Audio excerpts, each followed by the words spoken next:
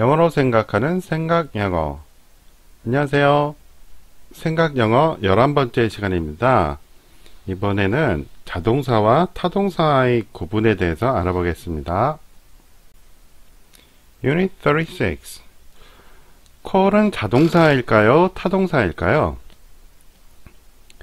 학교 다닐 때 자동사냐 타동사냐 이런 거를 막 외웠던 기억이 나는데요.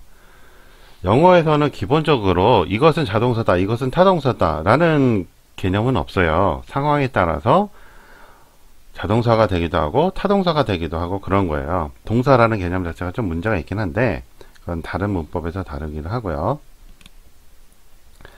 자, 컬의 기본 개념은 소리내어 부르다입니다. 소리내어 불러서 소리가 밖으로 향하면 방향이 생기죠. 그럼 방향 지시가 필요합니다. 하지만 소리내어 불러 이게 불어가 아니고 불러죠. 불러드리면 주어의 방향으로 오니까 방향이 정해져 있어서 방향지를 쓰지 않습니다.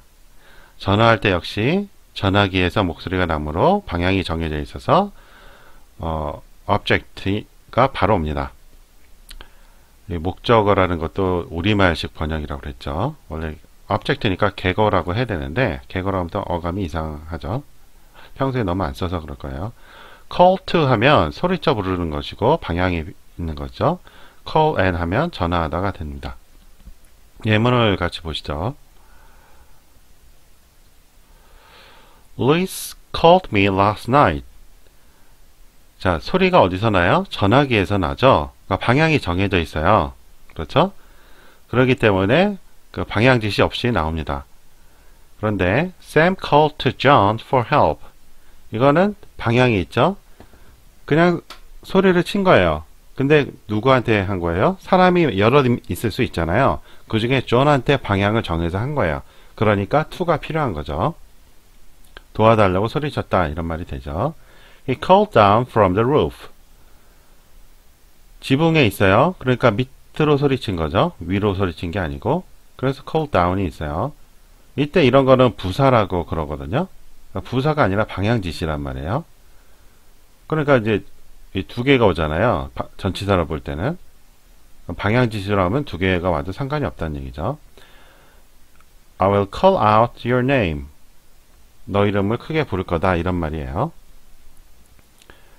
소리치면 어차피 밖으로 나가는데 그거를 강조를 한 거죠. 이제 더 크게 한다는 의미로. Helen called my name. 하고 다르죠. 이건 단순히 부를 거다 하는 거고 이건 너, 너 이름을 뭐 소리칠 거다. 이런 말이 되는 거예요. I called on my grandparents. call on은 뭐라고 배우셨어요? 이것도 수가라고 배우셨을 거예요. 방문하다거든요. 왜 그럴까요? 그 옛, 지금 말고 옛날에는 어땠어요? 누구 방문하면 문 앞에 문에 달린 그 동그란 걸 가지고 쇠를 똑똑똑 두들겼죠. 노, 손으로 놓고 하는 경우보다도 그렇게 소리 크게 잘 들리라고 쇠로 된 거를 두들겼어요. 사진으로 보여드리면 픽사베이에 나와 있는 거고요. 이런 식으로 돼 있죠. 이런 거를 가지고 손으로 두들겼단 말이에요. 근데 한 번 딱 두들기는 것도 아니고 여러 번 하죠. 그러니까 접촉이 일어나고 그게 지속된단 말이에요. 그래서 call on을 쓰는 거예요. 그러니까 상황을 떠올리면 왜 on이 방문하다가 되는지 알 수 있는데 그런 거를 상황을 안 떠올리고 우리말 해석한 것만 보면 on이 방문하다로 바로 연결되지 않죠? 그러니까 이건 수거야, 외워 이렇게 되는 거란 말이에요. 그러니까 이때는 자동사라고 그러고 이때는 타동사라고 그러고 그런다는 거죠.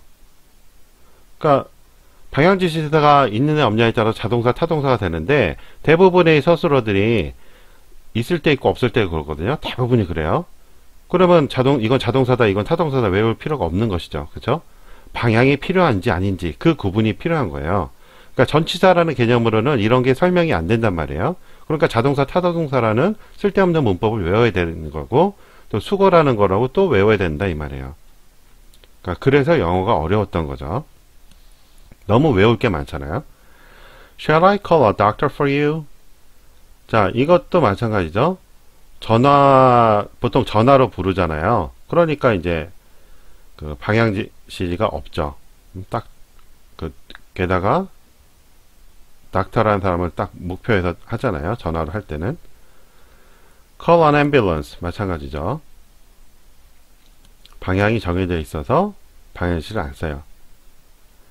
Could you call back in 10 minutes? 이거는 어, 10분 있다가 다시 전화해 줄래? 이런 말이에요. call back을 썼죠. 전화일지라도 방향이 필요하면 쓰는 거예요. 그죠? 원래는 이제 call me back인데 미가 생략된 거죠. 당연, 당연히 아니까. 누구한테 하는지 아니까. 우리말 같은 경우도 주어인 나를 생략할 때가 많잖아요. 당연히 안다고 생각해서. 영어도 가끔 그럴 때가 있어요. call me back인데 당연하니까 이제 생략을 했어요. 그래 call back이 된 거거든요. 그래도 상관없는 것이 뭐 방향 지시니까 된단 말이에요. 그러니까 전화하다는 의미에서도 역시 방향 지시 안 쓰는 게 일반적이지만 쓸 때도 있다 이 말이에요. 그러니까 이런 것도 부사야 이렇게 바꾸는 거잖아요. 음? 그러니까 문법이 계속 어려워지는 거죠. 다음 페이지 보겠습니다. Mr. Johnson, uh, Mr. Jackson called a press conference. press conference 기자회견이고요. 기자회견. 그것을 그러니까 기자들을 불렀다라는 의미로 called를 쓴 건데 마찬가지로 지금 방향 지시가 없죠. 왜? 방향이 결정돼 있단 말이에요. 그죠? Let's call it a day. 오늘은 그만하자 이런 말인데요. A씨라는 것은 이제 뭔가 어, 아니 이건 나중에 다르게 it 관련 문법이 나오거든요. 그때 이제 설명하기로 하고 day라는 거는요. 옛날에는 이제 전구가라는 게 없었잖아요. 전기불이 없었어요. 그래서 어, 옛날에는 해 떨어지면 거의 뭐 자고 이랬다고 그래요. 그 그래서 day라는 거는 일하는 하루 24시간이 아니고 해가 떠 있는 시간을 말을 해요. 그래서 일하는 시간이죠. 그래서 그 이제 해가 다 떨어졌으니까 이거를 데이라고 하자, 낮이라고 하자, 일하는 시간이라고 하자. 그러니까 의미가 변해서 이, 일하는 시간이 다 됐다. 그래서 그만하자 이렇게 번역이 되는 거예요. 그러니까 이런 것들은 단어는 다 아는 단어예요. 중학교 1학년, 응? 초등학생 단어인데 해석하려니까 안 되죠. 그러니까 의역을 해야 되거든요. 그러니까 어려워지는 거예요. 이런 문장들이 엄청나게 많은 거죠. 우리가 첫 시간에 알아봤었잖아요. 이런 문장들이 너무 많으니까 단어 아무리 암기가 소용이 없어요. 자, 그 다음에 명사로 쓰인 call. I've been waiting for your call. 또 이게 서술어인데 명사로도 쓰이는 경우가 많이 있어요. 이 컬만 그런 게 아니고 다른 것도 그러거든요. 그러니까 품사라는 것도 외울 필요가 없죠. 품사는 어떻게 결정돼요? 문장에서의 어느 위치에 있느냐가 품사가 결정되는 거예요. 그러니까 서술어 위치에 있으면 서술어가 되는 거고 명사 위치에 있으면 명사가 되는 거예요. 명사 위치는 뭐겠어요? 주로 뭐 객관 어, 목적 그러니까 목적어 저는 개거라고 하지만 object 위치에 있으면 명사가 되는 거예요. I've been waiting for your call. 너 전화를 기다렸다. 그러니까 갑자기 콜이 부르다 해서 전화가 되고 또 전화하다가 되고 하니까 이 단어 하나를 외울 게 너무 많잖아요. 그런 게 아니라는 거예요. 개념은 하나다는 거예요, 개념. 그죠? 이미지를 떠올려야지 이해가 된다는 거죠. Make phone calls from your browser. 자, calls라고 있으니까 어, 이게 이게 주어고 이게 서술어인가 보다 이제 착각할 수 있는데 명령문이에요. make가 먼저 왔잖아요. 명령문이에요. 명령문이니까 얘가 서술어고 얘가 object가 되는 거죠. 그렇죠? 마찬가지로 이제 명사가 된 거란 말이에요. 요즘 인터넷으로 전화한 분들 많이 있나요?